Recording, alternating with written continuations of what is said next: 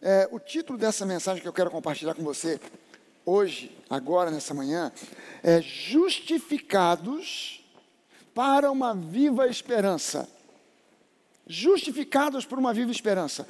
Nós fomos justificados e entre coisas que nós podemos cultivar na nossa vida está a esperança. E, e eu quero mostrar para você hoje que a esperança bíblica, a esperança que a palavra nos oferece, não é uma esperança qualquer. Eu preciso lembrar para você que nós somos gente da nova aliança. Nós não somos do mundo, nós estamos no mundo, mas não somos do mundo, mas também não somos da antiga aliança. Nós estamos em Cristo, não estamos na religiosidade, nós somos buscadores da verdade, não buscadores de emoções, simplesmente. O homem é um espírito, o ser humano é um espírito que possui uma alma, que habita num corpo. A alma é a série das emoções, mas nós não estamos atrás apenas de emoções. Amém? Eu não estou atrás de, de, um encontro onde eu simplesmente sinta arrepios, chore e haja um apelo emocional. Eu estou atrás essencialmente da verdade.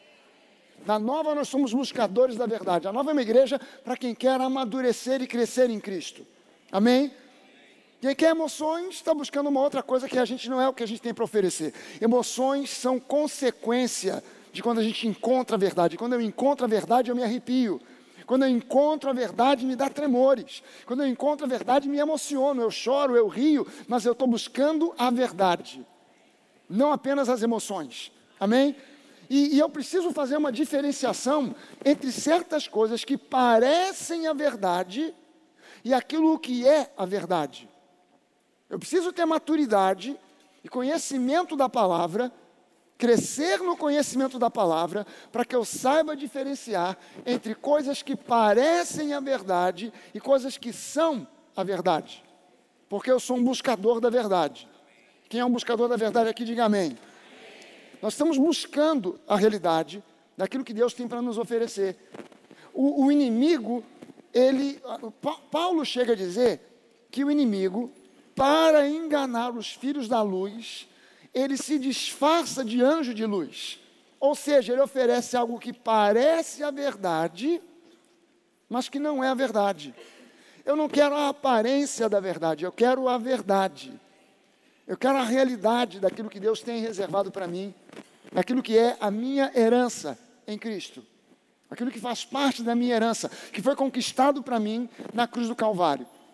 E, e, entre essas coisas que foram conquistadas para mim e para você, para nós, na cruz do Calvário, está a esperança, a genuína esperança, a verdadeira esperança. E eu quero levantar para você aqui algumas características sobre a esperança que Deus tem para nós. Eu quero ler para você um texto de, de Romanos, Romanos capítulo 4. E eu vou ler com você aqui do versículo 18 ao versículo 21. E esse texto de Romanos 4, ele diz para nós o seguinte, do capítulo 4, versículo 18 ao versículo 21, é uma passagem bem conhecida, eu tenho certeza que você conhece bem essa passagem, que diz assim: Abraão, esperando contra a esperança. Essa frase aqui, ela tem um conteúdo, só essa pequena frase, ela já tem um conteúdo extremamente profundo para nós. Abraão esperando contra a esperança. Isso aparentemente é algo ilógico. Como é que alguém pode cultivar esperança contra a esperança? Mas é porque, na verdade, há dois conceitos aqui. Há o conceito da esperança bíblica, a esperança que Deus nos oferece, a esperança que nós, como cristãos, devemos cultivar e a esperança que o mundo cultiva. A esperança que o mundo cultiva se baseia em estatísticas, se baseia em chances, se baseia em porcentagens. Então, como é que o mundo cultiva esperanças? Olha, é, é, é, esse evento, essa, esse projeto é, é, que eu tenho para a minha vida tem 80 80% de chances de dar certo. Ah, então, cara, eu estou cheio de esperança, porque é só 20% de chance de dar errado. Mas esse outro projeto aqui tem 80% de chances de dar errado. E só 20% de chance de dar certo. Ah, então a minha esperança está em baixa, porque a chance de dar errado é muito maior do que a chance de dar certo. E aí a gente cultiva uma esperança que apenas diz para nós assim: tomara, tomara que dê certo. Já ouviu isso de alguém? Você já contou um sonho seu para alguém e a pessoa disse: tomara que dê certo? Hã? Quem já ouviu essa frase de alguém aqui alguma vez na vida? Não vou perguntar quem já disse isso para alguém alguma vez na vida. Só, só, só quem já ouviu. Mas é, é, quando essa pessoa, até mesmo alguém que é crente, alguém que é um cristão, nascido de novo, está na igreja, frequentando a igreja, e você conta o seu sonho, o seu projeto, e a pessoa diz: um, tomara que dê certo, vamos orar para dar certo. Peraí, peraí, peraí, peraí. É, é, é, essa pessoa está cultivando ou querendo encorajar você com uma esperança que é a esperança do mundo, não é a esperança bíblica. A esperança bíblica não diz tomara que dê certo. A esperança bíblica diz eu estou numa expectativa alegre, confiante de que aquilo o que eu estou projetando, aquilo que sonho que Deus colocou no meu coração, vai dar certo e não tem como dar errado. Talvez eu enfrente uma série de lutas, de barreiras, de dificuldades, talvez eu enfrente um aparente fracasso, Talvez eu caia uma, duas, três, quatro vezes, mas quantas vezes eu cair, Deus me colocará de pé. Porque o sonho não é meu simplesmente, é Ele quem coloca em você o querer, o sonho, e é Ele quem proporciona o realizar. Então o sonho não é seu, não nasceu na sua cabeça maluca. O sonho, ah, ah, eu acho que é um sonho maluco. Todo sonho que vem de Deus é maluco. Deus não é maluco, mas o sonho que ele dá, o sonho que ele dá para nós é um sonho que é louco. Por quê? Porque é muito acima do que nós poderíamos realizar com os nossos recursos, com as nossas forças, com as nossas boas ideias. Sabe que a gente precisa abrir mão das nossas boas ideias para abraçar as ideias de Deus. Em, em, em inglês dá até para fazer um trocadilho. It's a good idea or a God's idea. É uma boa ideia ou é uma ideia de Deus? It's a good idea or a God's idea? É uma boa ideia ou uma ideia que vem de Deus? As ideias que você e eu temos não vêm mais de nós mesmos, vêm do nosso Deus. Por quê? Porque nós agora possuímos a mente de Cristo. Porque nós entendemos que Ele coloca em nós o querer e Ele depois nos capacita para o realizar. Ninguém disse que vai ser fácil. Não está escrito em lugar nenhum na Bíblia. Olha, Deus te dá o sonho e ó, sopa no mel, assim te diz o Senhor. É sopa no mel, meu servo. Não, não tem lugar nenhum na Bíblia dizendo que é sopa no mel. Não tem lugar nenhum dizendo que não vai haver barreiras, dificuldades, que o inimigo vai se levantar e vai tentar te impedir, tentar te desanimar, te desencorajar, levantar pessoas para te desencorajar. Não está escrito que, ele, não, que, isso, que nada disso vai acontecer, mas está escrito que ele ele, é Ele quem te fortalece, é Ele quem te encoraja, é Ele quem te anima. Então você precisa estar constantemente ouvindo a palavra que te encoraja, que te anima, não aquela que te bota para baixo. Não aquela que diz que você é um pobre, miserável, pecador, salvo pela graça. Eu não estou vivendo na esquizofrenia espiritual da religiosidade. A esquizofrenia espiritual da, da, da, religiosidade diz: você é um pobre, miserável pecador, salvo pela graça. Não, ou você é pecador ou você é salvo. Ou você é pecador ou você é santo. Você foi justificado para uma viva esperança. Você e eu fomos justificados. Nós éramos pobres, miseráveis pecadores. Já não somos mais. Por quê? Porque um pecador não é pecador por aquilo que ele faz, ele é pecador por aquilo que ele é, a natureza que nele há. Leia Efésios capítulo 2, e você vai ver que Paulo diz que nós éramos, por natureza, pecadores, não por obras, não por ações, mas por natureza. Havia em nós a natureza adâmica, a natureza pecaminosa. Jesus removeu de nós essa natureza e colocou em nós uma nova natureza. Jesus não fez em você uma reforma. Presta atenção nisso.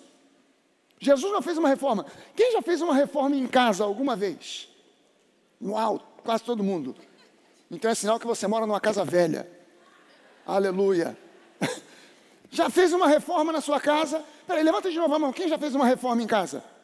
Já fez reforma? Jorge, você fez reforma na sua casa? Pintou paredes? Derrubou alguma parede? Levantou uma parede nova? Botou papel de parede? Trocou, banheiro? Fez reforma no banheiro? Trocou vaso? Aquele vaso velho? Você botou aquele japonês que sopra ar quente? Ainda não.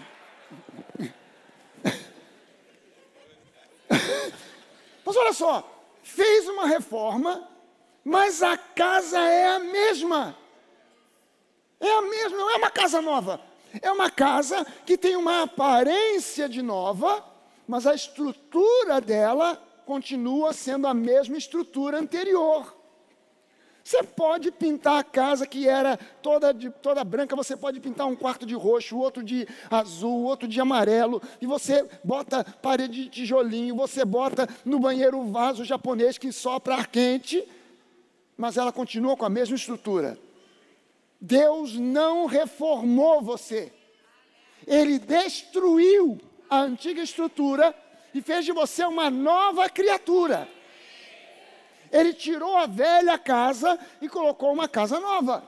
Ele tirou a velha natureza pecaminosa e colocou uma nova natureza, Zoe, a natureza do próprio Deus. Por isso a Bíblia diz que você, em Cristo, nasceu de novo. Nasceu outra vez. A velha criatura já era. Será que você pode dizer isso para você mesmo? A velha criatura já era. Levante uma das suas mãos e diga isso em Cristo. Eu sou uma nova criatura. Eu nasci de novo. Há em mim uma nova natureza. Não mais a natureza pecaminosa, mas a natureza do próprio Deus. Amém? Por isso você agora é santo.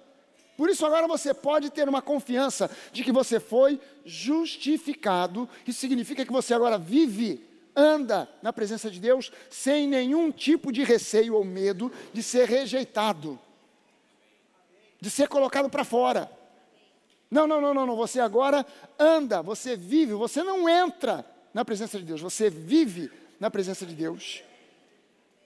E você não tem medo de ser rejeitado. Por quê? Porque você foi justificado. Gente, essa barulheira é o microfone? Não? Ou é lá fora? Lá fora, tá bom, beleza. O que está acontecendo lá fora? Então, olha só, uma reforma. Então, olha só o que, que a Bíblia está dizendo aqui quando diz que Abraão, esperando contra a esperança, Abraão, esperando no Senhor, com essa esperança viva, estava aguardando a realização da promessa, mas esperando contra essa esperança natural do mundo. Qual era a chance que Abraão tinha de ter esse filho que Deus prometeu?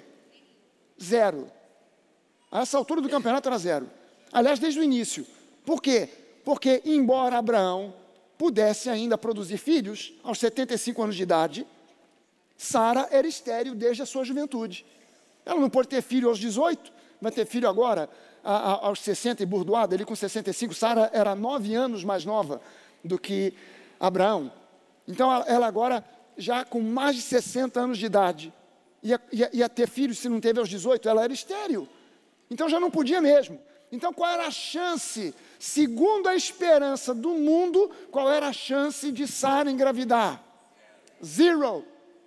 Zero. Nada. E aí Abraão foi esperando durante 20 25 anos. 25 anos. Aos 75 anos, Deus fez a promessa para ele. Aos 100 anos foi que Isaac nasceu. Somente aos 100, aos 100 anos. 25 anos esperando contra a esperança. Esperando com um tipo novo de esperança. Um tipo diferente de esperança. Aí ele diz aqui o seguinte: Abraão, esperando contra a esperança, creu Presta atenção no que a Bíblia está dizendo aqui. Abraão, esperando, creu. Cultivando essa esperança divina, essa esperança diferente, elpis.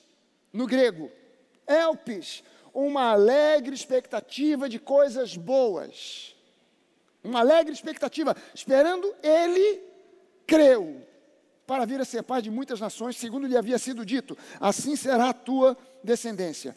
E sem enfraquecer na fé, levou em conta o seu próprio corpo já amortecido, tendo ele quase 100 anos de idade, e a esterilidade do ventre de Sara.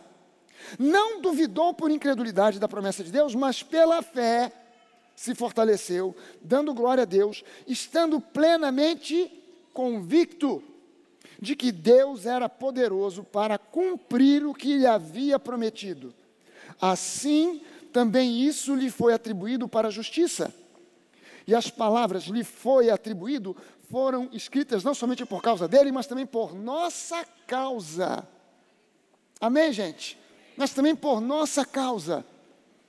Eu quero que você entenda aqui que nós, muitas vezes, na igreja, aprendemos a cultivar um tipo de esperança que não é a esperança bíblica, mas é a esperança do mundo. A gente vem do, do mundo com, com esse tipo de esperança, focado em possibilidades, e continua cultivando esse tipo de esperança. Ah, tem que haver uma mudança, um shift, um paradigm shift, uma mudança de paradigma. Eu voltei da, da, dos Estados Unidos uh, empolgado com o inglês, gente. Tem que haver um paradigm shift. Hallelujah brother and sister. Amen. Amen. Amen. Não, não responda amém, responda amen. é, é, tem que haver uma mudança de paradigma. Tem que haver uma mudança de paradigma. Então, a primeira coisa que eu vejo nesse texto aqui é que nós podemos cultivar uma viva esperança, porque a nossa esperança não está em chances ou possibilidades, mas no Deus que é fiel na palavra do nosso Deus, que é a verdade. Amém, gente? Uma segunda coisa, eu posso cultivar esperança, porque a esperança bíblica, ela, é, e eu preciso estar alerta disso, para isso. A esperança bíblica, ela funciona como se fosse incluída dentro de uma espécie de engrenagem. Eu quero que eu, eu, eu, eu usei esse, esse exemplo para chamar para ilustrar e você ter uma visão de como a esperança funciona. O que é uma engrenagem? São peças que se ajustam para fazer um mecanismo funcionar adequadamente. Não é isso? Um relógio, não, não digital, mas um relógio a corda, aquele relógio é, é, é automático e tal, tem dentro dele, que se você abrir, tem algumas engrenagens, que são peças que se ajustam e vão funcionando porque elas se encaixam perfeitamente uma com a outra para fazer o relógio funcionar. Não é isso? Então, o, o, são quatro coisas que fazem a esperança funcionar: a esperança, mas a esperança precisa estar associada com a fé, e a fé precisa estar associada com a graça, e a graça precisa estar funcionando junto com o amor. São quatro coisas que a gente vê no, nos textos bíblicos que mostram isso para nós. Eu vou, eu vou voltar aqui em Romanos, agora eu vou ler 5, capítulo 5, os versículos 1 e 2. Diz assim: Justificados, pois, justificados, cada um de nós aqui, mediante a fé, temos paz com Deus por meio do nosso Senhor Jesus Cristo, pelo qual obtivemos também acesso pela fé a esta graça na qual estamos firmes e nos gloriamos na esperança da glória de Deus. E não somente isto, mas também nos gloriamos na tribula nas tribulações, sabendo que a tribulação produz perseverança, a perseverança produz experiência, e a experiência produz esperança. Ora, a esperança não nos deixa decepcionados. Por quê? Porque o amor de Deus é derramado no nosso coração pelo Espírito Santo que nos foi dado. Então você vê nesse pequeno trecho aqui de Romanos 5, logo no início do capítulo 5, esses quatro elementos operando juntos: a esperança, a fé, a graça e o amor. É uma engrenagem. Você não pode focar em um, esquecer dos outros. Você tem que fazer os quatro funcionarem juntos para que a esperança não se baseie na esperança que o mundo tem, baseada em possibilidades, mas ela se baseie na fé, na graça e no amor de Deus. Amém? Deus é bom. E Ele tem planos de coisas boas para mim e para você. Uma terceira coisa que eu preciso me lembrar, a esperança bíblica, e isso é um conceito que, eh, se você não lembrar de mais nada no dia de hoje, dessa pregação, lembre-se disso. A esperança bíblica não espera. A esperança do mundo espera. A esperança bíblica não espera. A esperança bíblica crê. A fé vai além do crer. Ela toma posse daquilo que a esperança crê. A gente sempre confunde achando assim: a esperança espera e a fé crê. Hum, hum, hum, hum, hum. Abraão esperando contra a esperança, creu. O que que fez Abraão crer? A esperança. A esperança bíblica crê. A fé toma posse daquilo que foi crido. Guarda isso no seu coração. Para de pensar na esperança como uma coisa que olha para o futuro distante. Um dia serei curado. Isso não é esperança bíblica. Isso é a esperança do mundo.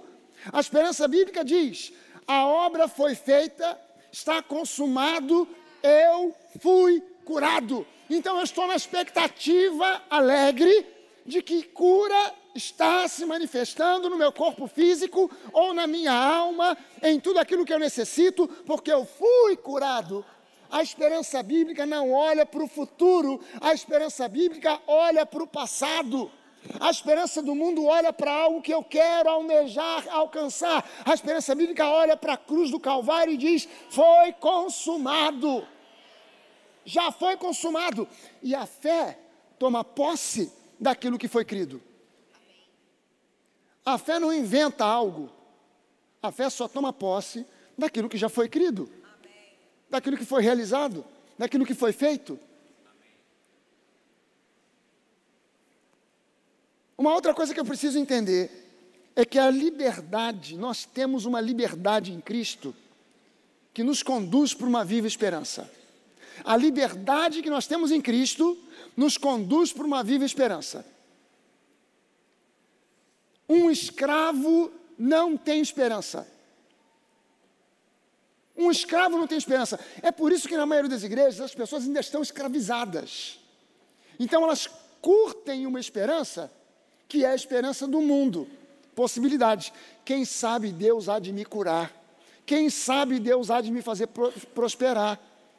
Né, o pastor orou, a irmã está orando, e nós estamos fazendo aqui uma corrente da oração, da, da, da prosperidade. É, há uma chance muito grande de Deus me fazer prosperar. Mas, não sei, vamos ver. Não, não, isso é, é, é, é você olhar para a palavra de Deus com a esperança que vem do mundo. Eu preciso ter um, uma mudança de paradigmas e começar a crer o seguinte: me foi prometido e já está consumado. É por isso que eu digo para você o seguinte: tecnicamente falando, nós já não temos mais uma promessa sequer de Deus. Tecnicamente falando, nós não temos mais uma promessa sequer de Deus. Por quê? Porque em, Cristo, cada uma das promessas foi dado para nós o sim e o amém. Então o que eu tenho já não é mais uma promessa, é uma herança.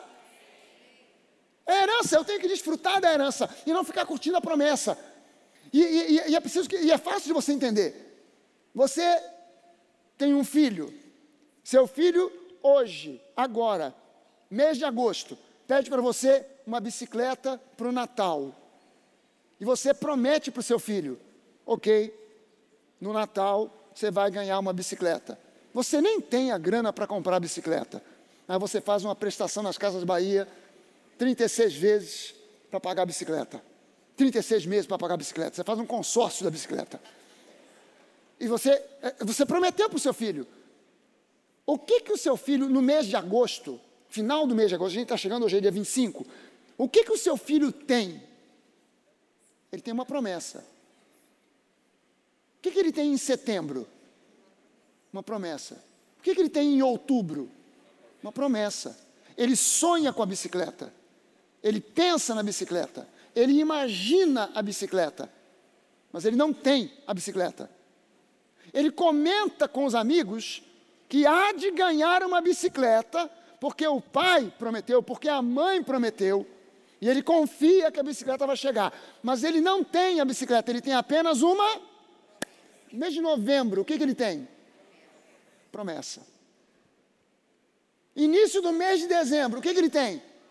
Ele tem a bicicleta? Não, não.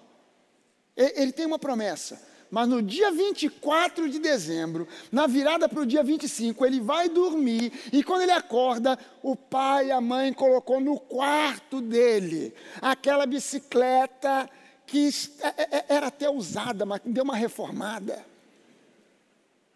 Ou a bicicleta zero quilômetro. Ele acorda, ele não tem mais a promessa da bicicleta, agora ele tem a bicicleta. Ele não sonha mais com a bicicleta, ele monta na bicicleta e vai passear com os amigos. Amém, Amém gente? Isso não é física quântica, gente. É fácil de entender. É simples. É a palavra de Deus. Eu não tenho mais que ficar sonhando com a cura, eu já tenho a cura. Eu não tenho que ficar sonhando com a prosperidade, eu já tenho a prosperidade. Eu não tenho que ficar sonhando com a família abençoada, eu já tenho a família abençoada e eu preciso colocar na minha boca uma confissão de fé que se alinhe com a realidade da palavra de Deus. Talvez não seja ainda a realidade que você está vivendo no seu dia a dia, mas vai se transformar. Por quê? Porque as coisas desse mundo têm que ceder à palavra de Deus. Pastor, mas o inimigo está resistindo. É você que está dando essa força para ele. Tira da sua boca essa confissão sobre o inimigo, pare de falar sobre o diabo e comece a falar sobre Jesus. Pare com aquela paranoia de ver demônio em cada esquina. A pessoa não pode dar uma topada. O demônio da topada está amarrado. Tudo, tudo.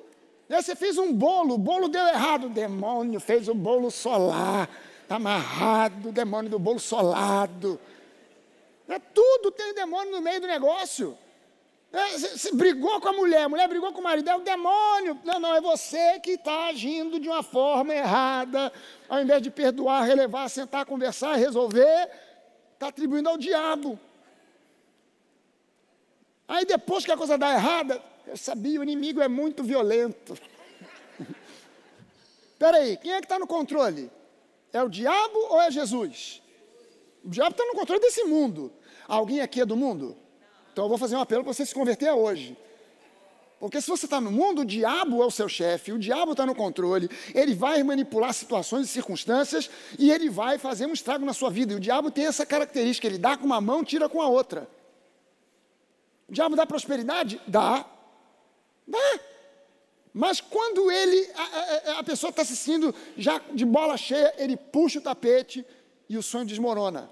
O nosso Deus, quando dá para você prosperidade, saúde, seja o que for, ele dá e ninguém pode tirar, e nem ele mesmo tira. Tire da sua cabeça a sua filosofia de Jó. Deus deu, Deus tirou, seja louvado o nome do Senhor. Para com isso. Porque no final do livro de Jó, ele admitiu: eu falei de coisas que eu não entendia. Eu falei um monte de bobagem, eu falei um monte de besteira. E aí, quando Jó chegou a essa conclusão, ele parou de dar ouvidos à voz da cabeça dele, não nascida de novo, parou de dar ouvidos à voz dos seus amigos e disse: Cara, eu agora estou entendendo a vontade boa, perfeita e agradável de Deus para mim, não é sofrimento, morte, miséria. Bote na sua cabeça algo que é muito importante de você entender sobre Jó. A Bíblia diz que o diabo veio fazer um estrago na vida de Jó, não foi? E que o corpo dele ficou lotado, cheio de chagas, não foi isso? O corpo ficou cheio de chagas. E durante todo o tempo daquele sofrimento, que foram nove meses, durante nove meses, o corpo de Jó estava coberto de chagas. E durante todo aquele tempo, Jó só fez duas coisas: reclamar e se auto-justificar. Mas eu não fiz, eu não fiz, por que, que o Senhor está fazendo isso comigo? Porque afinal de contas eu sou gente boa, eu não cometi nada de errado, e eu sou um camarada justo, e eu sempre fiz e aconteci. E aí você não entende por que que o corpo de Jó estava coberto de chagas. Mas deixa eu dizer para você: No início do livro de Jó, diz que Jó sacrificava para Deus. O livro de Jó é o livro mais antigo de toda a Bíblia. Então Jó não tinha o Pentateuco, a Torá, os cinco livros de Moisés. Ele não tinha os profetas, ele não tinha os escritos de Paulo, ele não tinha os escritos de Pedro. Você e eu temos. Jó não tinha nada. O que que Jó tinha? Jó, Jó tinha. Fala junto, Jó tinha. O que que Jó tinha? Ele tinha um conhecimento intuitivo sobre o nosso Deus. Ele tinha um conhecimento intuitivo. De alguma forma, Jó percebeu e entendeu que havia um Deus. Os povos à sua volta adoravam deuses, mas Jó compreendeu que havia um só Deus. E ele começou a prestar sacrifícios a esse Deus. Mas a Bíblia diz que ele sacrificava porque ele tinha medo. Já tinha medo. Jó tinha medo, Jó possuía medo. Medo de que ele ficasse longe da proteção de Deus, que os seus filhos, os filhos de Jó deviam ser da pá virada. Porque eles, os filhos não sacrificavam, ele sacrificava pelos filhos, por medo. E o medo é uma janela por onde o diabo entra para fazer estrago. E aí o diabo conseguiu ver essa, essa, essa janela, entrou e fez um estrago. E aí o corpo de Jó ficou coberto de chagas. Por quê? Porque aquelas chagas, elas estavam do lado de dentro. Elas só vieram para o lado de fora que, que eram as chagas de Jó? A sua autojustificação, a sua tentativa de acusar a Deus dos seus problemas e dificuldades. E, e, e, por isso é que eu olho no mundo e eu vejo um monte de crentes cheio de chagas, só que estão por dentro, ainda não vieram para o lado de fora, mas acabam se manifestando do lado de fora. Porque a pessoa tanto reclama, tanto reclama, tanto reclama, que a, a, a chaga da família arrebentada aparece. A chaga da autojustificação leva essa pessoa para a depressão, para a tristeza, para a angústia, para o medo. E as chagas começam a aparecer. E é preciso entender que quando Jó chegou à conclusão: não, peraí, Deus é bom, isso que aconteceu comigo não vem de Deus. Ele começou a orar pelos seus amigos, e aí Deus restituiu a Jó o dobro de tudo que ele havia perdido, inclusive o dobro de saúde. Ele teve o dobro de filhos, o dobro de bens, o dobro de, de, de tudo que ele tinha, camelos, bois e, e, e, jumentos, etc. O dobro de tudo. Deus restaurou. Ele só não teve o dobro de, de, de esposas, porque a, pelo menos a esposa dele não morreu, ficou do lado dele. Mas entenda bem o seguinte: Deus, Ele é um Deus que abençoa, não é um Deus que amaldiçoa. Então nós podemos cultivar uma viva esperança, porque a nossa liberdade em Cristo nos conduz para uma viva esperança. Um escravo não tem esperança de nada. Um, qual é a perspectiva de um escravo? Qual é a perspectiva do escravo? O escravo hoje pensa o que sobre amanhã? Quem sabe seria promovido a escravo mor? Qual é a vantagem do escravo ser promovido a escravo mor? Ele continua Escravo. Qual é a perspectiva dele? Qual a perspectiva do escravo para os seus filhos? Cara, eu sou escravo, casado com uma escrava, meus filhos serão o quê? Ele não sonha, meus filhos serão médicos, meus filhos serão engenheiros, meus filhos serão atletas. Não, não, meus filhos serão escravos, porque eu sou escravo. Então qual é a perspectiva de um escravo? Zero. Então, como é a oração do escravo? Oh Deus, oh dia, oh azar, Senhor, misericórdia. Mas você e eu fomos libertos. Você e eu não somos mais escravos. Então, a, a, a, primeira coisa que você e eu precisamos, entenda bem o seguinte: o povo de Israel estava cativo no Egito, não estava? 400 anos cativos. Deus levanta Moisés, esse povo é liberto, sai, Faraó vem atrás, eles atravessam o mar, o mar vermelho, chegam do outro lado, o mar se fecha, os inimigos foram destruídos por completo, não sobrou nenhum.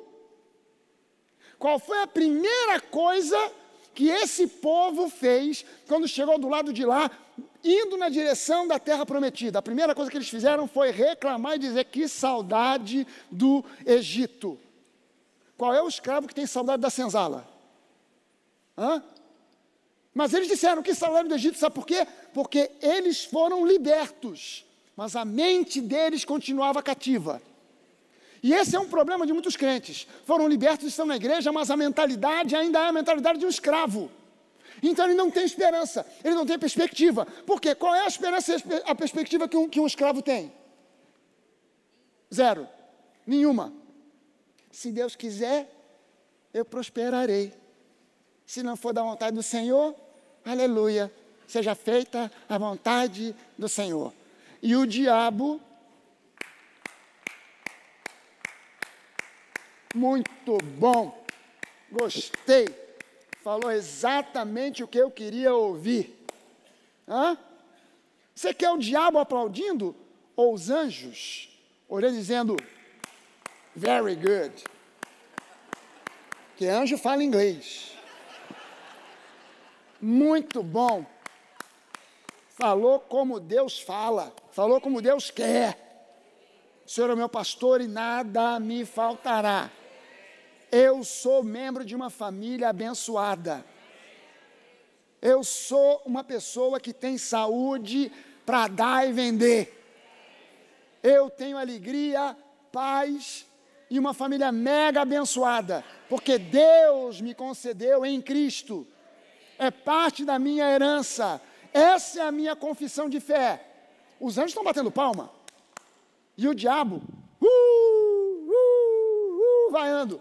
Deixa o diabo vaiar. Você continua crendo que aquilo que Deus prometeu, Ele cumpre. Porque Ele é fiel. Então, se você é livre, se você é liberto em Cristo, você pode cultivar uma viva esperança. Dá uma olhada comigo em Gálatas, no capítulo de número 4. Gálatas 4.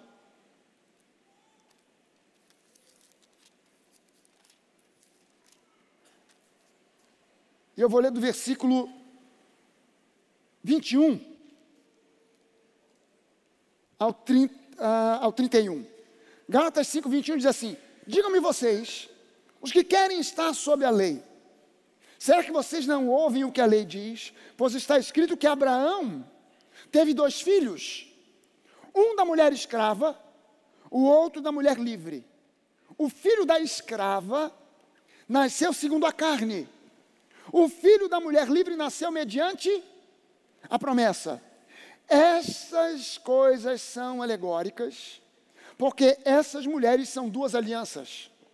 Uma se refere ao Monte Sinai, que gera para a escravidão. O Monte Sinai é o lugar aonde Deus deu ao povo de Israel a lei. Gera para a escravidão. Esta é Agar. Ora, Agar é o Monte Sinai, na Arábia, e corresponde a Jerusalém atual que está em escravidão com seus filhos, mas a Jerusalém lá de cima é livre e é a nossa mãe, porque está escrito: alegre-se, ó estéreo, você que não dá luz, exulte e grite, você que não sente dores de parto, porque os filhos da mulher abandonada são mais numerosos do que os filhos da que tem marido. Mas vocês, irmãos, são filhos da promessa, como Isaac. Como, porém, no passado, aquele que nasceu segundo a carne perseguiu o que nasceu segundo o espírito, assim também acontece agora. Mas o que diz a Escritura? Ela diz: mande embora. A escrava e o seu filho. A escrava e o seu filho apontam para o quê? Para a lei. Manda embora a escrava e o seu filho, porque de modo nenhum o filho da escrava será herdeiro com o filho da mulher livre. Portanto, irmãos, somos filhos não da escrava, mas da livre. Você percebe aqui o, o, o que, que esse texto quer mostrar para nós? Olha só, você conhece de repente alguém que é um crente de alguma outra igreja que está vivendo no evangelho mix. Sabe o que é o evangelho mix, não sabe? O evangelho mix é aquele evangelho misturado. É um pouquinho de lei misturado com graça. Mas um pouquinho de, de fermento fermenta a massa inteira. Sabe que lá nos Estados Unidos, pastor Reinaldo estava comentando comigo que uma pessoa que tinha saído da igreja, tinha ido para uma outra igreja, e estava dizendo assim: não, mas aqui na igreja onde eu estou frequentando, aqui agora, prega a graça. Prega graça, 100% graça. Olha o que, o meu pastor pregou aqui na semana passada. Título da mensagem: O que eu preciso fazer para chamar a atenção de Deus? Quer dizer, bota uma melancia no pescoço, uma abóbora na cabeça, se veste de Papai Noel, bota um apito na boca, um chucalho na mão e começa. Deus, vem aqui, olha para mim, olha para mim, olha para mim. Aí a pessoa até canta isso, né? Olha para mim. Quer dizer, Deus está de costas, descosta. E você tem que chamar a atenção dele. Isso se chama lei, legalismo, é mistura. Mas a pessoa é iludida e ela pensa que está ouvindo a verdade, mas ela está ouvindo algo que tem cara de gato, rabo de gato, bigode de gato, mas não é gato. É outro bicho, é outra coisa. É por isso que Paulo fala: eu fico admirado que vocês estejam passando tão depressa de um evangelho para outro que nem é outro. É, é, é, um bagulho doido. É uma mistura. E Paulo chama de perversão. A mistura, Paulo chama de perversão. Perversão é pior do que erro. É bem pior do que erro. Muito pior do que erro. Porque um erro é algo que eu reconheço, cara, eu, eu, eu, errei aqui, eu preguei na semana passada e citei aqui um versículo errado, ou coloquei fora de contexto. Isso é erro, é um erro. Eu errei, eu fui grosseiro, sei lá o quê. É, ok, eu reconheci que eu errei. Perversão é diferente. Perversão é pedofilia, estupro. Isso é perversão. Quer dizer, essa mulher não me ama, mas eu vou ter essa mulher de qualquer jeito, porque eu tenho uma gana, alguma coisa. Eu não quero simplesmente ela apaixonada por mim, eu quero ela de qualquer jeito. Então eu vou lá, agarro, pego estupro. Isso é perversão. Ah, não, o que me atrai não é uma mulher feita, é criança. Isso é perversão. Perversão. Perversão é pior do que erro. E Paulo chama a mistura de perversão senão que há alguns entre vocês que os perturbam e querem perverter o Evangelho de Cristo. É preciso ter muito cuidado, porque a pior coisa que pode acontecer com um pastor é ele perverter a mensagem da palavra, porque como líder e pregador, ele vai perverter a mente de toda a igreja. E a pessoa começa a acreditar em coisas que são uma perversão do evangelho. É o evangelho torto, é o evangelho pervertido. Então agora é o evangelho da, do merecimento. Eu, eu, eu, estou me esforçando, estou fazendo por onde. Então Deus, é, é, tá, tá, a pessoa crê que está escrito na Bíblia: faça por onde e eu te abençoarei. Eu já vi gente citando isso para mim como um versículo da Bíblia. Está tá escrito lá na Bíblia: faça por onde eu te abençoarei. E eu perguntei: aonde? Em que lugar? Me mostra pelo menos o livro. Depois eu acho o capítulo e o versículo, mas pelo menos o livro. Está tá lá no, no, no, em, é, em algum dos livros. Tem vários na Bíblia. Em um deles tem lá. Faça por onde que eu te abençoarei. E, mas aí eu já identifiquei. Onde é que está escrito isso? No livro de Heresias, capítulo 3, versículo 27. Faça por onde isso é mentalidade da lei. Faça por onde? Obedeça os mandamentos. Obedeça e aí eu te abençoarei. Isso é assim que a lei funcionava. Ou você obedece, ou você fica debaixo de maldição. Ou você obedece, ou a bênção não vem. Obedeceu, tudo certo. Desobedeceu, paulada na cabeça, maldição sobre a sua vida. Na graça, você não depende de obediência, você depende de crença. A justificação é para todo aquele que crê, não é para aquele que fez as boas obras. Não existe cartão de milhagem para salvação. Alô? Não existe. Tem gente que pensa que tem cartão de milhagem. Estou fazendo boas obras. Para você ter uma ideia, por que tem muita gente que não tem certeza da salvação? Porque ela pensa, eu serei salvo. Eu serei salvo. Então eu serei salvo. Para ser salvo, eu preciso então acumular pontos no cartão de milhagem. A pergunta é: quantos pontos você precisa no cartão de milhagem para entrar no céu? Quantos pontos você precisa? Ah, ninguém sabe. Então a gente vai fazendo para acumular pontos. Vai fazendo. Aí você, coitado de você, se converteu ontem, recebeu do anjo o cartão de milhagem. Eu que estou na igreja há 30 anos, meu cartão de milhagem está com 157 milhões de milhas. E você se converteu ontem, você não tem uma milha sequer. Aí, na hora de chegar no céu, eu apresento o meu cartão e Deus diz: entra no gozo do seu Pai, filho amado. E você, que não tem, só, só tem o cartão, o cartão está vazio, você desce.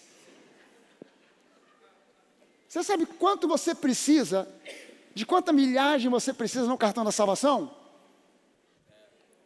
Zero. Zero. Zip.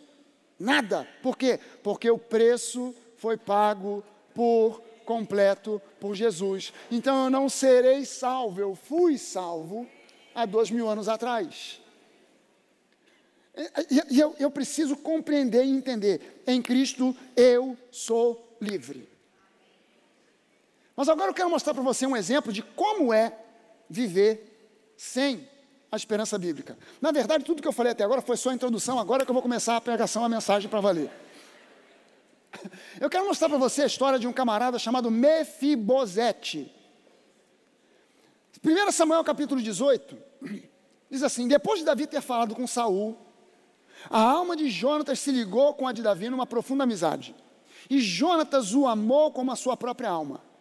Naquele dia, Saul reteve Davi e não permitiu que ele voltasse para a casa de seu pai. Jonatas e Davi fizeram uma aliança porque Jonatas o amava como a sua própria alma. Jonatas tirou a capa que vestia e a deu a Davi. Deu também a sua armadura, inclusive a espada, o arco e o cinto. Gente, a gente vai continuar na leitura desse texto bíblico aqui, mas deixa eu é, fazendo alguns comentários aqui. Você prestou atenção numa coisa? A Bíblia mostra aqui, dizendo que Jonatas amou Davi, mas não citou em momento nenhum que Davi amou a Jonatas. Mas é claro que se você continua lendo a história, você vai ver que Davi depois afirma que ele amava Jonatas como a um irmão. Mas nesse texto aqui, quando Davi e Jonatas se conhecem, houve entre eles algum tipo de identificação, de identidade, e Jonatas amou Davi. Por quê? Porque nessa história, Davi, ele aponta para o perdido enquanto que Jonatas aponta para o Salvador. Então Jonatas amou Davi, por quê? Porque Deus primeiro nos amou. E nós só viemos a amar a Deus porque Ele nos amou primeiro. Não fomos nós que amamos a Deus, então nós tocamos o coração de Deus, e Ele ficou sensibilizado com o nosso amor e passou a nos amar. Não, Ele nos amou quando nós ainda éramos inimigos dele, quando éramos ainda ninguém. Hã? E aí diz que Jonatas, então, deu para Davi a sua capa. Capa na Bíblia é como se fosse uma carteira de identidade. Quando você lê capa, citando a capa de alguém, o que, que era a capa do cego Bartimeu? Era a carteira de identidade de um cego pedinte. Então ele podia sentar nas ruas e pedir esmolas, porque a sua capa garantia a ele esse direito. Então ninguém se incomodava. Se alguém sentasse para pedir esmolas sem a capa, vai preso. Mas sentou com a capa que diz que ele é um mendigo, então ele pode mendigar. A capa é a sua casa, a sua carteira de identidade. O que, que representava a capa de Jonatas? A sua realeza. Ele era o filho do rei. Como Jesus é o filho, é a segunda pessoa da Trindade, Jonatas era o filho do rei e ele deu a sua capa para Davi. O que que Davi deu para Jonatas? Nada. Por quê? Porque da mesma forma que Deus tinha tudo para nos dar, o que que nós tínhamos para dar para Deus? Nada. Que que Davi tinha para dar para Jonatas? Uma capa esfarrapada. Cheirando a ovelha. Porque ele era um pastor de ovelhas. O que, que ele tinha para oferecer para Jonatas? Nada. O que, que nós temos para oferecer para Deus? Os nossos farrapos nossos pecados, nossa natureza pecaminosa, nossa vida infeliz, nossa tristeza, angústia, depressão, doença, morte. Foi isso que nós demos para Jesus. O que, que ele deu para nós? A sua capa. E nós fomos justificados. E passamos agora a ser realeza. Porque agora a minha identidade está na capa que eu uso. A capa que eu uso, eu fui revestido, revestido de Cristo. Davi foi revestido com a capa de Jonatas, e agora quem olhava para Davi não via simplesmente um pastorzinho de ovelhas, via alguém que estava linkado, ligado com a realeza. Aleluia. E aí Davi deu, Jonatas deu mais para Davi. Ele deu a sua armadura, assim como Deus dá para nós a coraça da justiça, a armadura do espírito, deu para ele a sua espada, o arco e o cinto. A espada é a palavra. O cinto é a verdade. O cinto é a verdade. É, é, é, eu estou usando, usando um cinto aqui. Por que, que eu estou usando esse cinto? Porque essa calça é frouxa. É, é calça de skatista, deu para ver? Então ela é frouxa. Ela é aquela calça que você usa por aqui, assim, eu estou usando aqui em cima, mas ela se usa por aqui para aparecer metade da cueca. E se você bobear, ela cai. Então o cinto é a verdade que segura todo o resto da armadura no lugar. Do que eu dependo para que a armadura permaneça no lugar, a armadura do espírito? Eu dependo que o cinto da verdade esteja ajustado. Porque eu sou um buscador da verdade. Então o cinto da verdade mantém a armadura firme no seu lugar. Então, ele deu a armadura, a coraça da justiça, ele deu a espada, a palavra, ele deu uh, o cinto, mas deu também um arco. O que, que é um arco? O arco é uma arma com a qual você consegue manter o inimigo à distância. Você atinge o inimigo à distância. O inimigo não, uma faca tem que estar o inimigo perto. Uma espada, o inimigo tem que estar perto. Mas um arco, o inimigo pode estar lá, lá, lá no fundo. Pum! Atinge lá. O inimigo não pode chegar perto de mim e de você porque nós temos uma aljava com flechas que atinge o inimigo antes que ele possa chegar perto. Então, o que, que são essas flechas? São a confissão da palavra. Eu preciso manter firme a minha confissão de fé, porque é como se eu estivesse alvejando o inimigo com flechas da verdade, flechas da verdade, sai para lá, porque em Cristo eu fui curado, porque em Cristo eu fui justificado, porque em Cristo eu sou mais que vencedor, porque em Cristo eu sou protegido, em Cristo eu sou guardado, em Cristo eu sou feliz, em Cristo eu tenho paz, em Cristo eu tenho amor. Aleluia! Você tem que estar constantemente mandando flechada no inimigo. Jonatas firmou uma aliança. Aliança, no conceito do Antigo Testamento, era algo muito sério. Muito sério. Era uma aliança de sangue. A gente sacrifica um animal e a gente diz: Olha, a partir de agora eu em aliança com você, você em aliança comigo, tudo que é meu é seu, o que é seu é meu, e a gente vai andar em aliança para sempre e os nossos descendentes estarão debaixo dessa mesma aliança filhos, netos, bisnetos, porque nós firmamos uma aliança de sangue. Não foi uma aliança qualquer. Uma aliança que envolveu a morte de um animal, representando a nossa morte, caso a gente não cumpra a aliança. Então, que aconteça comigo o que aconteceu com esse animal que foi sacrificado, se eu não cumprir a minha parte da aliança. A aliança que Deus tem conosco é uma aliança de sangue, e o sacrifício foi Jesus. Não foi uma ovelha, não foi um boi, não foi um pombo, foi Jesus. Então, o que, que Deus está dizendo? Eu estou empenhando a minha palavra. Se você crê no meu filho, você está em aliança comigo, eu te guardo, eu te protejo. O que aconteça comigo, o que aconteceu com Jesus, se eu não cumprir a minha parte. Mas Deus é fiel. Ele não precisava jurar, ele não precisava fazer aliança nenhuma, mas ele fez para garantir a nós que ele é fiel e que ele cumpre a sua palavra. Cristo pagou o preço. Cristo pagou o preço, não fui eu que paguei o preço. Você e eu não pagamos preço nenhum. Nós só entramos na aliança gratuitamente. Graça, graça de Deus. Jesus teve que dar o sangue, teve que morrer, teve que sofrer, teve que sentir dor. Eu só tive que crer. Uau, que aliança é essa? Que aliança doida, que aliança louca é a aliança da graça. Davi firmou com Jonatas essa aliança. Jonatas se tornou amigo de Davi, aliançado com ele. E aí, Saul começa a perseguir Davi. Davi foge, passa um bocado de tempo sendo perseguido, perseguido, perseguido. Um dia, Davi é ungido para ser o próximo rei. Todo mundo sabe que Davi vai ser o próximo rei. Saul está vivo e aí Saul vai batalhar contra os filisteus. E nessa batalha, ele morre e o seu filho Jonatas morre. Quando Saul morre, Jonatas morre, quem é o próximo rei que vai assumir o trono? Davi. O que, que o pessoal no palácio de Saul pensou? Davi vem agora com a faca nos dentes, com sangue nos olhos, porque Saul perseguiu durante todo esse tempo. Ele deve estar morrendo de ódio. Saul morreu. Agora Davi é o rei, ele vai passar o rodo geral. Vamos meter o pé, vamos fugir. E todo mundo desesperado começou a pegar suas coisas, cada um suas trouxas, e começou a correr no palácio, uma confusão danada. E aí Mefibosete era o filho de Jonatas, tinha cinco aninhos de idade. Ele tinha uma babá. A babá, ela desesperada, pega Mefibosete no colo, sai correndo, ela tropeça, toma um tombo gigantesco e o garoto tem as duas pernas quebradas, fraturas sérias na sua perna. Não tinha ortopedista, não tinha cirurgia ortopédica, não tinha gesso. Ela sai correndo com ele chorando, desesperado de dor, e aquele garoto tem a consolidação dos seus ossos toda torta, toda troncha, todo esquisito, e ele ficou aleijado dos pés. E ela levou esse garoto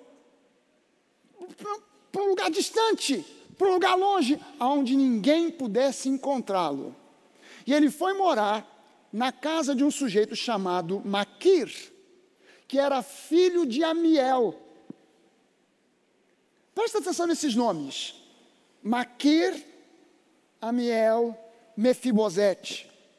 O que, que significa o nome Mefibosete? O nome Mefibosete significa exterminador do futuro, do futuro não. Exterminador do futuro é, é outra coisa. Exterminador de ídolos exterminador de humilhação, exterminador da vergonha. Isso é o significado do nome Mefibosete. Exterminador de ídolos, de vergonha, de uh, humilhação. O que, que significa o nome Amiel, que era o pai de Maquir? Ele estava adotado agora na casa de Maquir, filho de Amiel, que, que significa o nome Amiel? Todo nome hebraico que tem El no início ou no fim, El é o nome de Deus. El Elion, o Deus Altíssimo. El Shaddai. São, são, é, é, é El significa o nome do próprio Deus. Então, Amiel, Gabriel, Geber-El, Gebrel, Geber-El, o campeão de Deus. Amiel amigo de Deus ou alguém que é fiel e leal. Amiel significa alguém que é fiel e leal. Mas o nome Maquir, o nome do filho Maquir, Maquir significa vendedor. Alguém que desiste de alguém. Quer dizer, desistir desse copo. Vou botar no enjoei para vender. Que eu desisti do copo. Desisti desse sapato, vou botar no OLX para vender, porque eu desisti desse sapato. Amiel era o pai de Maquir, sei lá por quê, que ele bota o nome do filho de vendedor, alguém que desiste de alguém.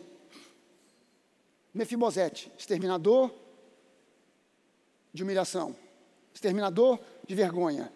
Mefibosete foi chamado para ser exterminador de vergonha e de humilhação. Mas ele estava vivendo em vergonha e humilhação. Porque o que, que ele pensava? Se Davi me encontrar, ele vai me matar, ele vai acabar comigo. Então ele estava vivendo em humilhação, ele era filho de um, de, do, do, do, do, futuro rei, daquele que viria a ser o rei. Mas ele, ele, ele era um príncipe, mas ele estava vivendo em humilhação, em vergonha, estava vivendo. É, e, e o pior, ele estava morando num lugar chamado Lo-Debar. Lo-Debar, Lo significa não. Debar, pasto. Não pasto, sem pasto. O que, que significa Lo-Debar? Um lugar aonde não há nada. Onde você mora? Em Lodebar. É, eu escutei até uma música a respeito do, do lugar onde você mora. Moro onde não mora ninguém onde não vive ninguém, onde não, tá, não tem nada. Que, que tem lá? Não tem nada. Eu moro onde? Lodebar. É um lugar deserto, é um lugar onde não tem pasto. Então não tem vaca, não tem boi, não tem ovelha, não tem cabrito, não tem nada. Lá não tem plantação, não tem colheita, não tem nada. O que, que é esse lugar? Lodebar, um lugar de humilhação, um lugar de nada, um lugar do deserto. Esse era o lugar para esse camarada estar escondido, humilhado, aquele que foi chamado para ser um destruidor de humilhação, um destruidor de vergonha, estava vivendo em humilhação, em vergonha e em Lodebar. Sabe qual é o seu lugar?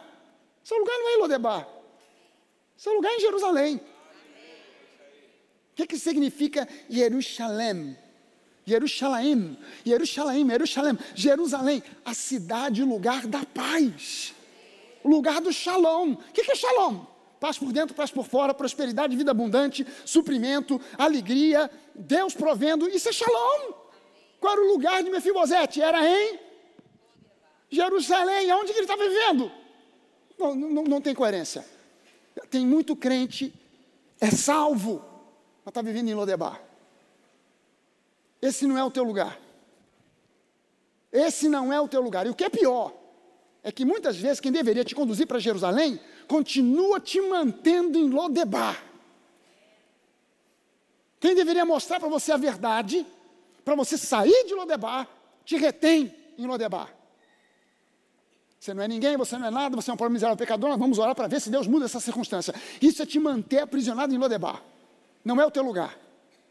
Mas aí, os anos passam, Mefibosete agora é um homem feito, e aí, de repente, Davi para e pergunta assim: vem cá, alguém aqui no palácio sabe se ainda existe alguém da família de Jonatas para que eu possa abençoar com a bondade de Deus?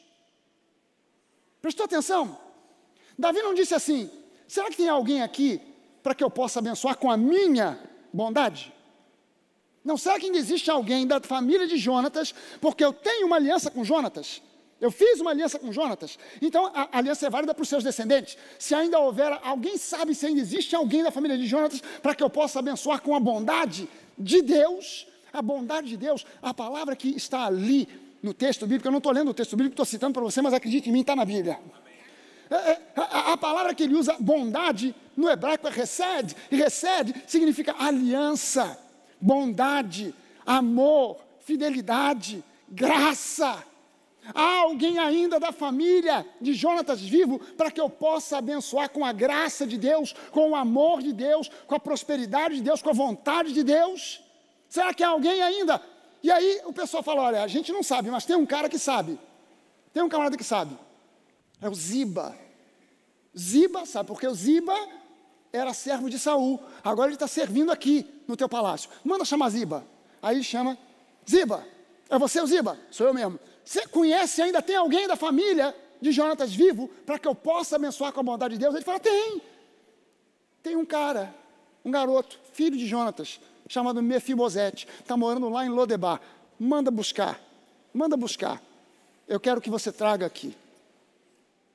Deixa eu te mostrar o que significa o nome Ziba. Ziba se escreve Z-I-B-A, mas no hebraico, no hebraico é tzadik, Yud, Bet, Aleph. Deixa eu pegar quatro pessoas aqui, para cada um ser uma letra, para você poder entender direitinho. Mauricinho, vem cá. Deixa eu ver quem mais. Vem cá, Mário. Agora duas, duas, duas, duas, duas, duas meninas. Marcele, vem cá. Está tomando nota aí, Marcele? Está tomando nota?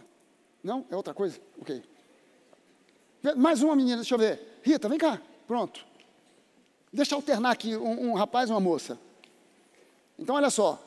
O hebraico, a gente, a gente na, na, no português. Vem, vem aqui para o meio, vem aqui para o meio. A linha aqui entre as duas caixas aqui, que fica mais fácil para o pessoal ver. No, no, português, a gente escreve da esquerda para a direita, não é isso? O hebraico a gente escreve da direita para a esquerda. Então, olha só. Como é que eu falei para você? Ziba, no hebraico, se escreve com a primeira letra.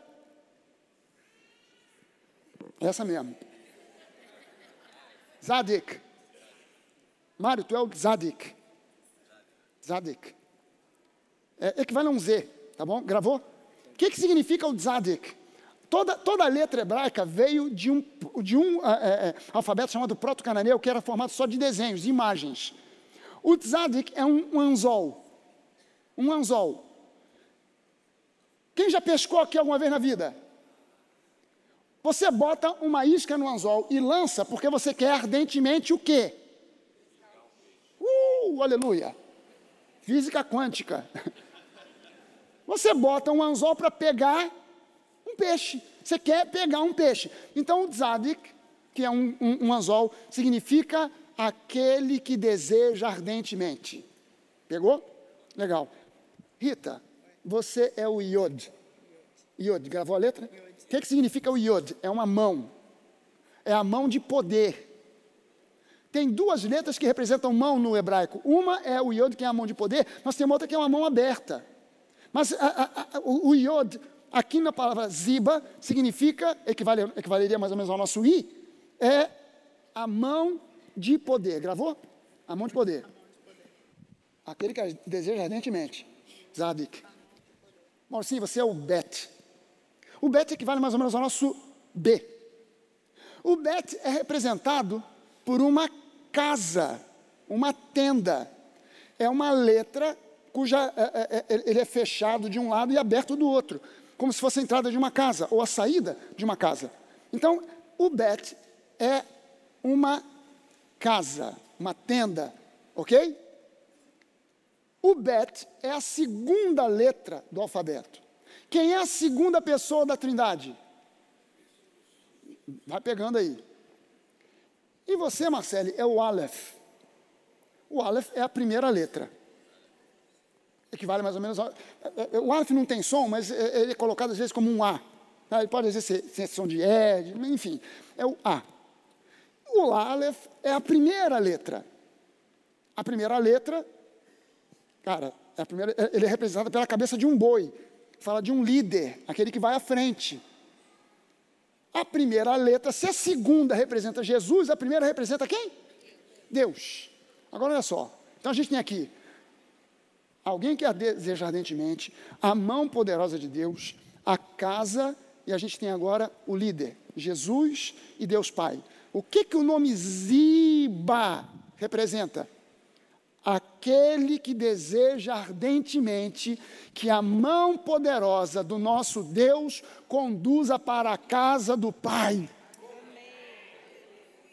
Se Davi, agora, nesse contexto, aponta para Jesus, Mefibosete aponta para nós, se agora a gente está vendo a ação do pai a ação do filho, quem é Ziba? Ziba é um representante que simboliza o Espírito Santo, que nos conduz para a casa do Pai. Amém, gente? Obrigado.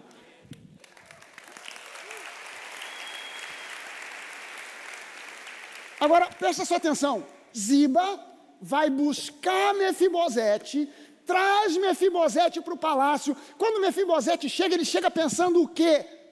Tô ferrado. Me acharam. Vou morrer. E é essa imagem que muita gente tem de Deus. Se Deus me achar, eu tô frito. O Lynn Hiles, teve aqui, quem teve na conferência deve lembrar, o Lynn Hiles, ele disse, quando começaram a me convencer de que eu eh, era um pecador miserável e que eh, Deus ia me punir, ele disse: então, se, se, eu vou fazer o errado, eu vou fazer com vontade, vou fazer bem feito. E meteu o pé na jaca, caiu no pecado. Porque não tem jeito, não tem salvação. Dentro da igreja não tem salvação, então eu vou lá para o mundo, vou abraçar o capeta. Aí tem gente que tem essa imagem de Deus. Deus, Deus vai te pegar. Ó, você está no pecado. Isso é a mensagem de várias igrejas. Domingo sim, no outro também. Você está no pecado, Deus vai te pegar. Você vai ver, porque Deus vai pesar a mão. Porque Deus vai te botar aí numa situação para você entender que só Deus é Deus, para você sair desse pecado. E, e, e, se fala do pecado, pecado, pecado, pecado. E quanto mais se fala sobre o pecado, mais as pessoas pecam. O cara fala do pecado pensando que vai resolver o problema do pecado. Quanto mais ele fala do pecado, mais as pessoas pecam. E a, e a, pessoa começa a ficar numa paranoia, porque ela vive debaixo de acusação, e a acusação traz como consequência condenação. Mas Jesus já levou sobre si toda a acusação. Ele já levou sobre si toda a condenação. O que, que eu estou fazendo em Lodebar? O que, que você está fazendo em Lodebar? Sai de Lodebar. Sai de Lodebar, meu irmão.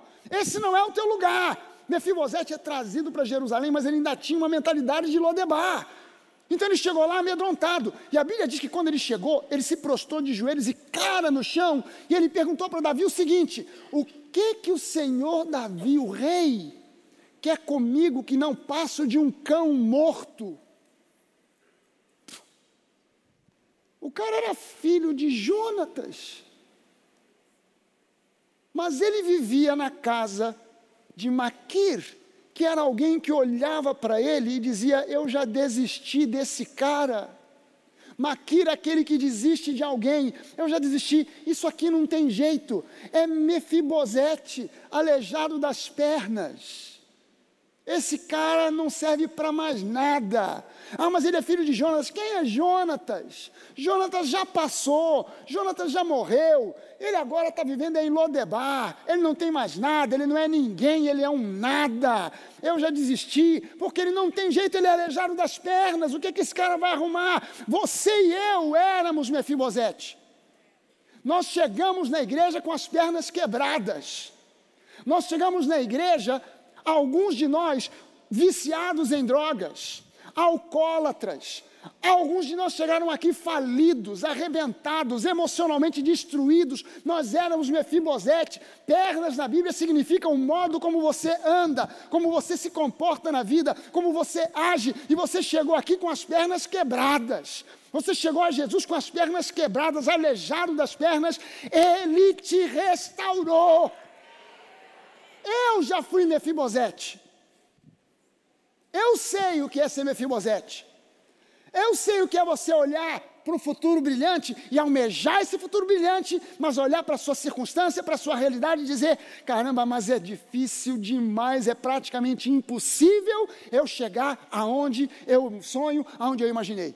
E as pessoas do mundo vão te dizer: cara, não sonha tão alto. Você não tem, é muita areia para o teu caminhãozinho. Não sonha tão alto porque você vai se decepcionar. Sonha mais baixo.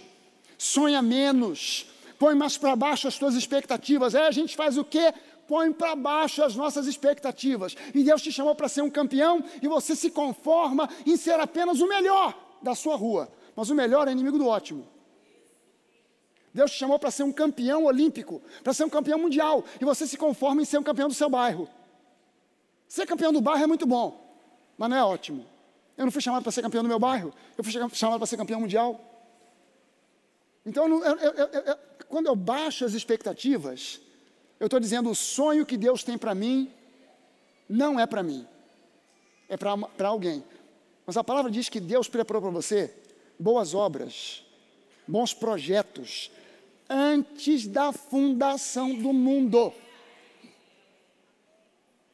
Que Deus olhou para você no ventre da sua mãe, sua mãe e seu pai estavam escolhendo ainda o nome, sabia nem que nome você ia ter. Deus já sabia o teu nome, já te chamava pelo nome no ventre da sua mãe. Sabe que já, já viu essa coisa de pai e mãe que não chega à conclusão do nome que vai ter o filho? Vai chamar João. Ah, não, João não. Eu fiquei numa guerra danada com a Denise, que era de nome, de nome era nome para o Mauricinho. Mauricinho nasceu sem nome. Ficou uns dois ou três dias sem nome. Por quê? Não, cada nome que ela sugeriu, dizia, isso aí está me lembrando um, uma pessoa chata para caramba que eu conheci. Já olhar para a cara do meu filho, todo me lembrar do fulano, um cara chato. Ah, então é, o nome tal. Eu dizia, não, esse nome aí não, isso não, não, bate bem no ouvido e tal. E, custou, sugeriu uns, uns 150 nomes. Até que ela falou assim, tu está querendo é que botar o teu nome? Eu falei, ah,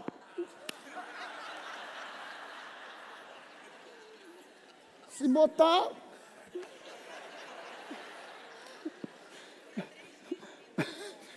Como é? Depois de três dias, ressuscitou.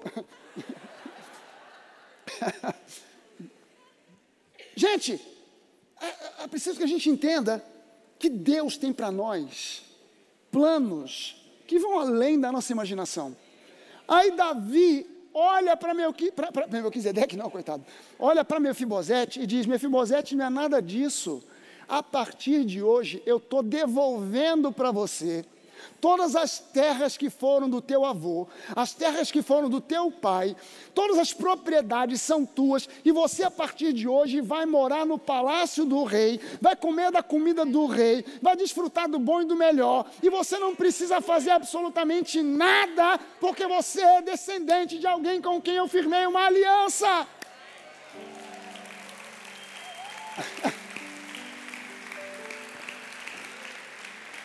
Agora tu imagina, Mefibosete estava assim, ó, com a cara no chão, um cão morto. O que, que você quer comigo, rei? Ai, não dá, Mefibosete, você vai comer muito melhor. Hã? O quê? Comer? Hã? Não estou entendendo nada. Não é para entender, é para crer. Deus tem para você. Deixa eu, deixa eu falar para você.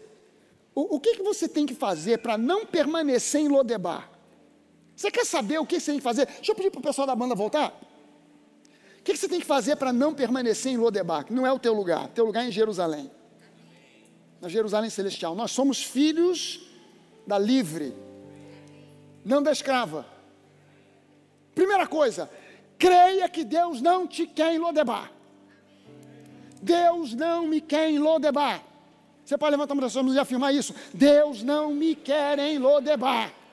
Meu lugar não é no deserto, lugar nenhum. Deus não me quer em Lodebar. Alguns fatos que mostram para você que Deus não te quer em Lodebar. Deus é bom.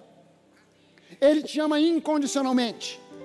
Ele já estabeleceu uma aliança através de Jesus que te garante vida abundante. Então não é da vontade de Deus que você permaneça em Lodebar. Segunda coisa, pegue a passagem. Olha o verbo pegue a passagem. Eu não estou dizendo pague a passagem. Pegue. Antigamente tinha um mercado chamado pegue, pague. Pode pegar à vontade, mas tem que pagar. Vai chegar no caixa e dizer, gente, eu estou aqui no mercado pegue. Não, não, não é pegue, não, é pegue e pague. Então, pegue a passagem que Deus já deixou paga para você para fora de Lodebar. O preço da passagem já foi pago. Você só tem que pegar. Jesus é o caminho, o preço já foi pago. Aceite o convite do rei para sentar à mesa do banquete real. Lembre-se que é pela graça, e graça é favor imerecido.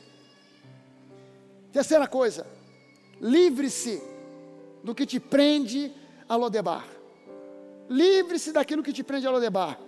Antes de mais nada, pare de pensar como cidadão de Lodebar, comece a raciocinar como cidadão de Jerusalém. Mude a mentalidade. Não importa que outros digam, não importa o que os outros digam, pare de dar ouvido a crente negativo. Pare de dar ouvido a crente negativo. Não fique contando os seus sonhos para qualquer um. Não fique contando os seus projetos para qualquer um. Você não aguenta e, e, e, não resiste e conta. A pessoa é ultra negativa, ela ouve e já assim. Hum. Mas isso, isso, aí é muita areia para o teu caminhão, não é para o teu bico. Eu sei disso. eu sei disso. Gente, olha só, deixa eu te dizer uma coisa importante aqui. Para nós que somos pastores, não existe um homem, uma mulher na face da terra que esteja capacitado para fazer a obra de Deus. Nenhum. Nenhum. Todos nós que estamos no ministério, nós somos inteiramente, completamente, absolutamente, totalmente dependentes da ação do Espírito Santo. Ah, você sabe que a, a, a, o homem, ele puxa para o natural. Aí você tem curso de crescimento de igreja. O que, que você faz para a sua igreja crescer? O cara te dá um montão de fórmula, te dá um monte de coisa. Ah, não, é G12, é não sei o quê, é isso, aquilo. Aí o camarada começa a adotar um montão de fórmula. E a igreja cresce no braço do homem. Aquilo que cresce no braço do homem, cai no braço do homem. Porque um dia a força do braço esgota, cai, acaba. Tenta fazer isso. Vai na academia, pega um pezinho. Não precisa ser de muita coisa, não, 10 quilinhos. Bota 10 quilos em cada mão. Não faz o supino todo, não. Só faz a metade e segura. Vê quanto tempo você aguenta. Você aguenta por um tempo. Daqui a pouco começa a tremer. Daqui a pouco começa a riar. E quando você vai ver, e você come... chegou aqui embaixo, a mão também já não consegue segurar. Daqui a pouco a mão está começando a doer também os dedos, você, você tem que largar. Aquilo que é feito no braço do homem tem que ser sustentado pelo braço do homem, mas aquilo que é feito por Deus é sustentado pelo braço do próprio Deus. Então agora eu preciso entender que eu não, posso, eu não posso ficar em Jerusalém com a mentalidade do Lodebar. Eu tenho que ir para Jerusalém com a mentalidade de Jerusalém. Saber que eu preciso me livrar dessa mentalidade errada e exercitar metanoia, mudança de mente. Deixa eu convidar você para curvar a sua cabeça.